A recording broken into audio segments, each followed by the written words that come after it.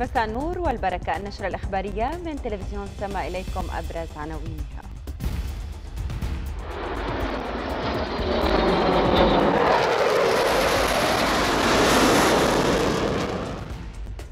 برعاية الرئيس الأسد الاحتفال بتخريج دفعة جديدة من طلبة الكلية الجوية.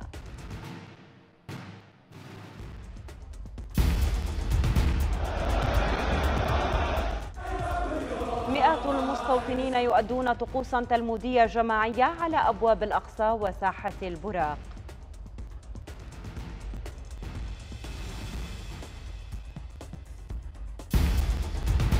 Ударами оперативно-тактической армейской авиации, ракетных войск и артиллерии الدفاع الروسي تعلن تدمير عدد من الأهداف العسكرية وأنظمة الطاقة في أوكرانيا خلال اليوم الماضي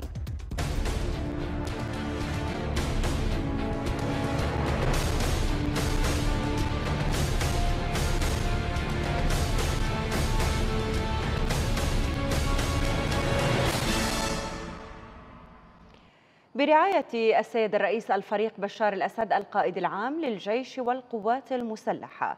وبمناسبة الذكرى السادسة والسبعين ليوم القوى الجوية والدفاع الجوي تم الاحتفال بتخريج دفعة جديدة من طلبة الكلية الجوية بمعاهدها الثلاثة الجوي الفني والملاحي. وقد ناب عن السيد الرئيس في حضور الاحتفال العماد عبد الكريم محمود إبراهيم رئيس هيئة الأركان العامة للجيش والقوات المسلحة. علو علو علو علو علو علو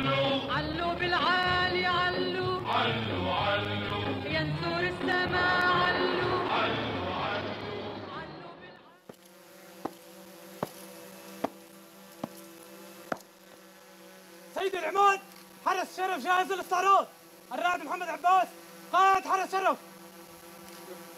حاضر.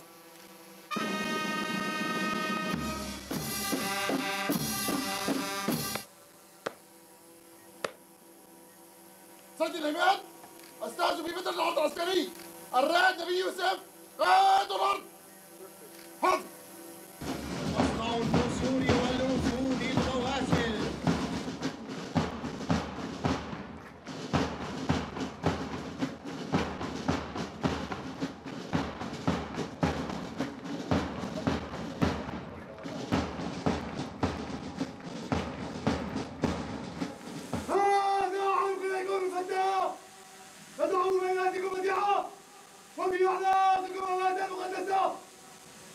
المودعة وصول الأمانة بالذات يعني عنها حتى آخر قطعة من دمائكم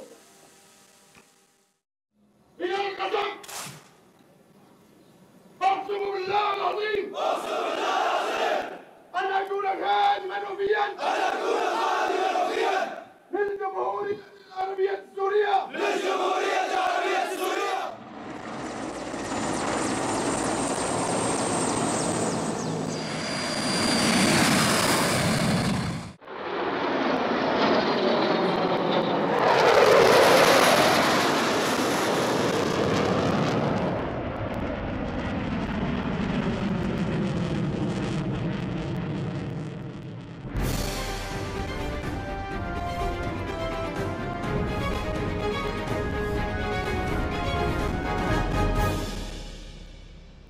واصلت الجهات المختصة بالتعاون مع مجموعات أهلية وبمساندة الجيش العربي السوري عملياتها الأمنية في مدينة جاسم على امتداد 55 كيلومتر شمال غربي محافظة درعا ضد عناصر تنظيم داعش الإرهابي.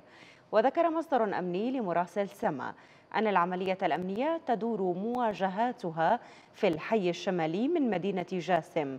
وأشار المصدر إلى أن العملية الأمنية تشهد مشاركة واسعة من أبناء محافظة درعا الذين قدموا من ريفيها الشرقي والغربي حيث استشهد ثلاثة أفراد من المجموعات الأهلية التي تواجه التنظيم.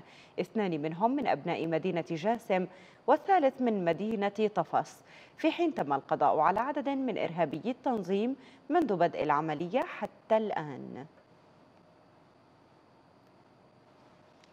تستمر في مبنى محطة القطار بمدينة حماة عملية تسوية أوضاع المطلوبين من المدنيين والعسكريين الفارين والمتخلفين عن الخدمتين الإلزامية والاحتياطية. وذلك وفقا لاتفاق التسوية الذي طرحته الدولة. الحمد لله رب العالمين نشكر السيد الرئيس على العفو العام وعلى القلب الكبير. و فرصة ما بتتعوض للجميع. والأمور كويسة الحمد لله. ما والله ما حد زعجني لا والله. اي كل شيء. كل شيء اي الحمد لله. اي كلها تمام. الأمور ميسرة الحمد لله والشباب كلياتهم تعاملهم كثير طيب. في تسهيلات و... إيه تمام. كل المواضيع وما في أي إزعاج بأي شيء. والله وجه رسالة للناس كلياتها اللي بالشمال واللي برا سوريا. بيجوا على البلد يساوي تسويه يرجعوا على اراضيهم وعلى قراهم وعلى مدنهم ويقوموا بأعمال بأعمالهم اليومية ويرجعوا آه، لحضن البلد.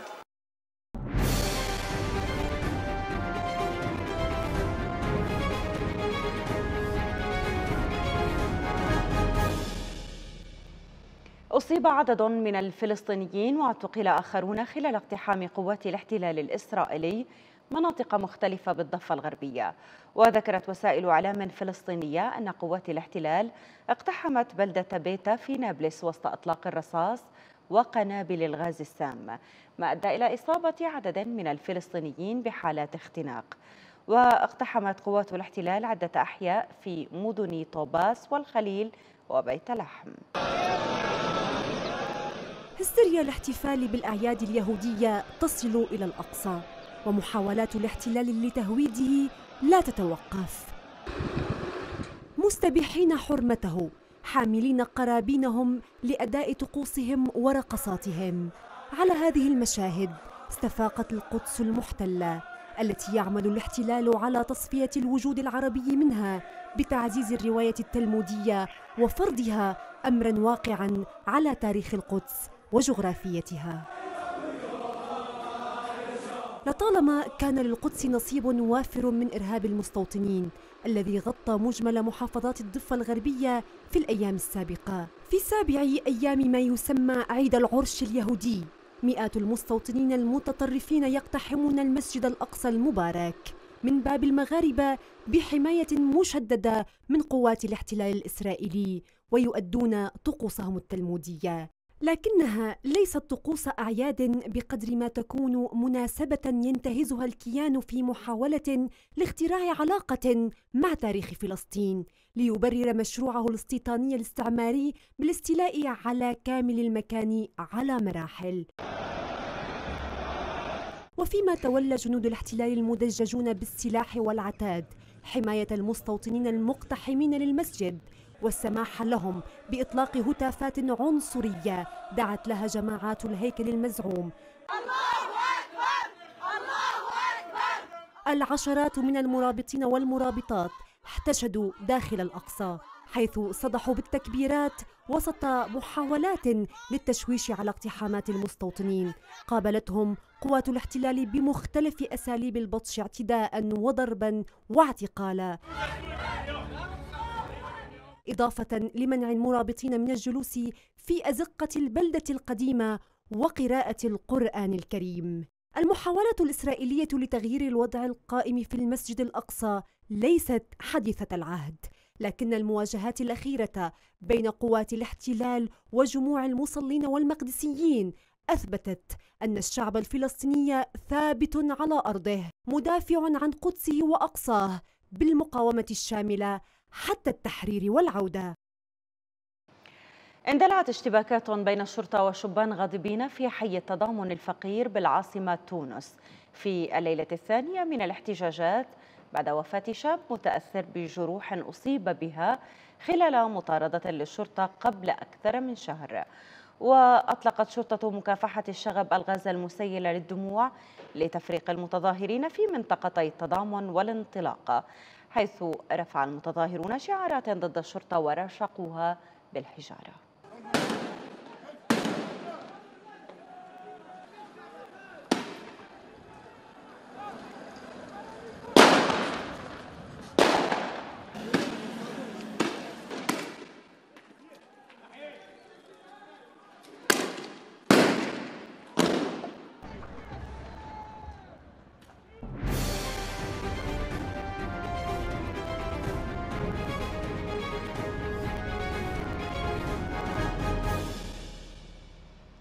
أعلنت وزارة الدفاع الروسية أنها قصفت بصواريخ عالية الدقة مراكز قيادة تابعة للجيش الأوكراني وكذلك أنظمة الطاقة ودمرت جميع الأهداف المطلوبة.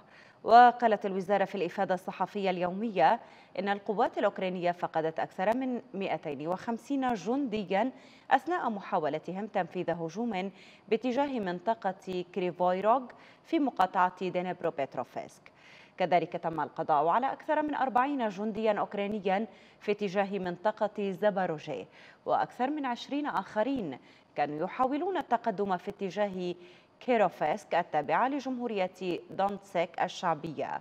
وفي مقاطعة خاركوف قتل 50 جنديا أوكرانيا على الأقل. كانوا يحاولون التقدم باتجاه منطقة كوبيانسك. بالإضافة إلى ذلك تمكنت الدفاع الجوية الروسية من إسقاط 11 طائرة دون طيار واعتراض ثمانية صواريخ من نوع هيمارس وتدمير خمس مستودعات للأسلحة في مناطق مختلفة. وجه الرئيس الأمريكي جو بايدن بتخصيص 725 مليون دولار إضافية لتقديم المساعدات العسكرية لأوكرانيا في حين أعلنت قناة فوكس نيوز الأمريكية أن واشنطن تقترب من فقدان قدراتها على مواصلة تقديم المساعدات العسكرية إلى أوكرانيا. ينير الرئيس الأمريكي الإشارة الخضراء أمام وزير الخارجية أنتوني بلينكين من خلال منحه صلاحيات جديدة لتخصيص ما تصل قيمته الإجمالية ل 725 مليون دولار من المنتجات الدفاعية. وخدمات وزارة الدفاع الأمريكية والتدريب العسكري كل ذلك لغرض مساعدة أوكرانيا.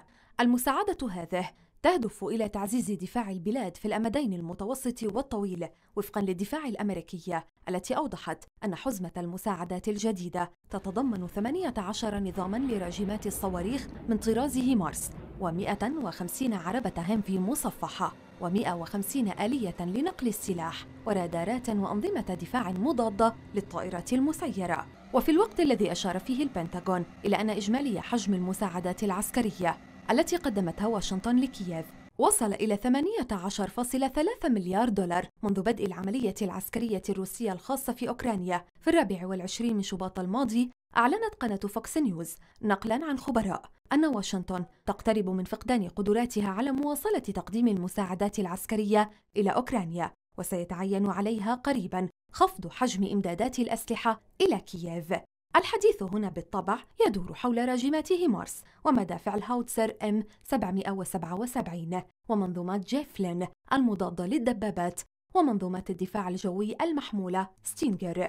وفي هذه الحالة ينبغي على واشنطن أن تتحول إلى توريد أنظمة أسلحة أكثر بساطة أو شراء معدات من الآخرين حسب ما صرح كبير المستشارين في مركز الدراسات الاستراتيجية والدولية مؤكدا أن الوضع لن يكون كما كان من قبل. بالإضافة إلى ذلك يعتبر بعض الخبراء أن هناك مراجعة للوضع الحالي في الإدارة الأمريكية التي تريد وقف الزيادة في التوتر هناك لغاية في نفس يعقوب. إلى عناوين هذه النشرة.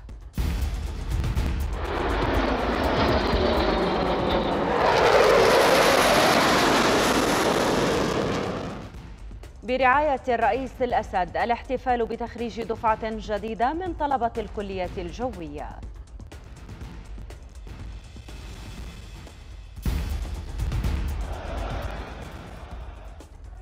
مئات المستوطنين يؤدون طقوسا تلمودية جماعية على أبواب الأقصى وساحة البراق